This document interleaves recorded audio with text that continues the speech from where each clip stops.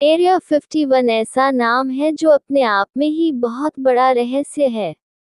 असल में एरिया 51 एक टेस्टिंग एरिया है।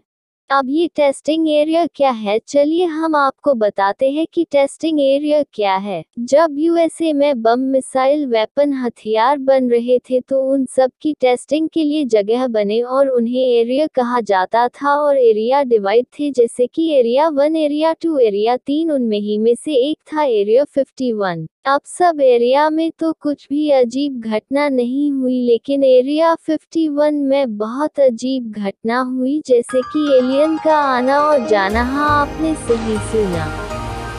जब एलियन आए, फिर वो कभी नहीं गए। अब सेवन एलियन एरिया इक्यावन में काम करते हैं। तो आप बोलोगे कि यह तुम्हें कैसे पता चला? तो मैं आप तो बता गेटा हूँ कि एरिया इक्यावन में काम करने वाला इंसान ने ही यह सब बताया। अब तो मेरे को एरिया के नाम से डर लगने लगा है। क्या आपको भी डर लगने लगा नहीं? तो चलो मैं आपको डराता हूँ, एरिया इक्यावन। एलियन और इंसान साथ में काम करते हैं। लेकिन जब इंसान कोई गलती करता है तो बूज नहीं एलियन से सजा और कभी कभी मार भी मिलती है। वीडियो अच्छी लगी हो तो लाइक, शेयर और मेरे चैनल को सब्सक्राइब ज़रूर कीजिएगा।